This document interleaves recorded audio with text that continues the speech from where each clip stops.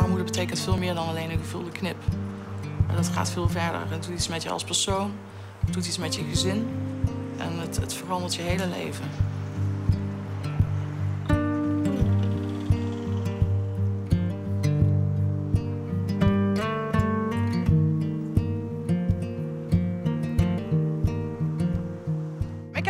Veel tijd eh, doorgebracht. Vooral eh, tot aan het einde van mijn lagere school kwam ik hier vaak met, eh, met buurtgenootjes. Daar rookten we sigaretjes, wat we thuis niet mochten. En deden we wat andere dingen stiekem. Ja, we waren een beetje allemaal van die schoffies. Want we kwamen allemaal uit deze wijk hierachter. En vooral van die kant ook. En dat was ja, toch een beetje een middenstands, achterstandswijk. Ja, wij badjes waren allemaal buiten overdag.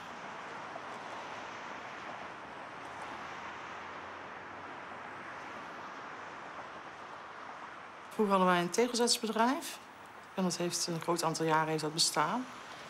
Dat liep heel goed. We hebben eigenlijk nooit geen geldzorg gehad eh, vroeger. Maar we hadden een foute boekhouder. En in de zin van, die heeft zoveel fouten gemaakt... dat door het bedrijf uiteindelijk failliet ging.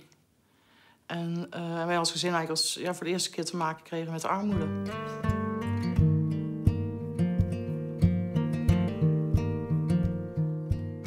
Was wel voor ons wel heel duidelijk dat er iets ging veranderen. Ook al werd ons dat niet zozeer in detail eh, verteld. Maar je merkte wel dat er meer spanning was in huis.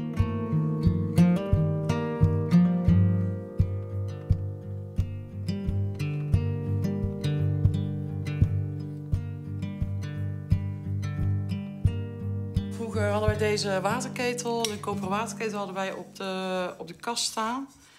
En eh, op een bepaald moment kwam er een deurwaarder kwam beslag leggen op, eh, op, op de inboedel die in huis stond. En ehm die deurwaarder wilde deze waterketel meenemen. Dat was een erfstuk eh, van mijn oma. En nou, daar hing zo'n pook bij, bij de open haard. En mijn moeder die pakte die pook en die zei tegen die deurwaarder... als jij ook maar waagt om met je vingers aan het erfstuk van mijn moeder te komen... aan die waterketel, dan pats ik je met die pook op je vingers... En ik zal ervoor zorgen dat je hier nooit meer een stap over de drempel heen zet. En eh, die man is uiteindelijk ook met staart tussen de benen vertrokken. Dat is, eh, dat is de eerste keer en ook de laatste keer geweest dat ik mijn moeder zo gezien heb. Ja. Eh, toen was ik een jaar of acht, ja. Misschien net negen, ja. Dus dat, dat maakte wel, wel indruk op mij.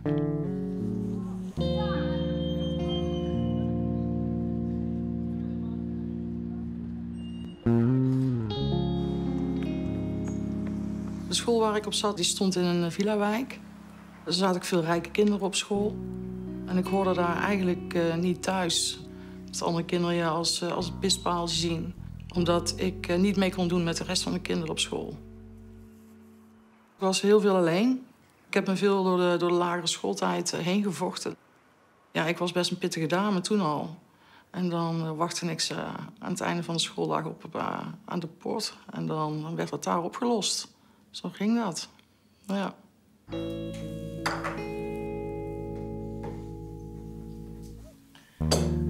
Nou, geniet ervan, hè? Smakelijk.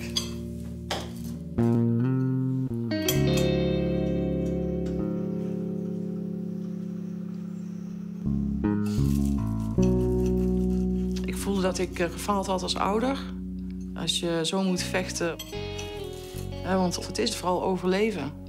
Het iedere dag moeten vechten om met 5 euro eh, rond te kunnen komen met twee kinderen. Wat, wat eigenlijk niet te doen is. Hè, dus je bent altijd bang dat er iets anders op je pad komt. Eh, een kind heeft een gat in zijn schoenzolen. Hoe ga je dat laten repareren? Dat kost ook gelijk een tientje. Dus alles kost geld. Wat ik me vooral herinner is dat toen ik nog echt klein was, rond een jaar of zes, dat ik dan mijn moeder altijd aan de tafel zag zitten en dan met een schriftje erbij. En eigenlijk alle prijzen zeg maar, van de boodschappen opschrijven. En gewoon kijken wat we eigenlijk per dag hadden te besteden. En dan komt dat schaamtegevoel ook weer terug. Want je schaamt je eigen ervoor. Want je je wil niet dat de buitenwereld ziet hoe dat jij, eh, in wat voor situatie dat je zit. Dat je niet meer mee kunt doen. eh, dat je je kinderen niet meer fatsoenlijk te eten kunt geven. We hebben gehakt gegeten totdat het uit onze oren kwam, letterlijk. Gehakt was, is goedkoop, dus we aten heel veel pasta. Macaroni met gehakt, spaghetti met gehakt, nasi met gehakt, ballen gehakt. Gehakt op brood. Nou, alles met gehakt. Lekker, Pieter.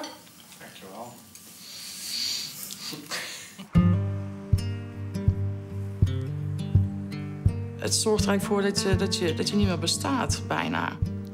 Alsof je dat, dat recht, dat dat wegvalt. Dat, dat, is, dat is wat armoede met je doet. Je hoort er niet meer bij. En eigenlijk heb je daar ook geen ruimte voor in je hoofd. Want je bent alleen maar met overleven bezig. En niet meer met het leven.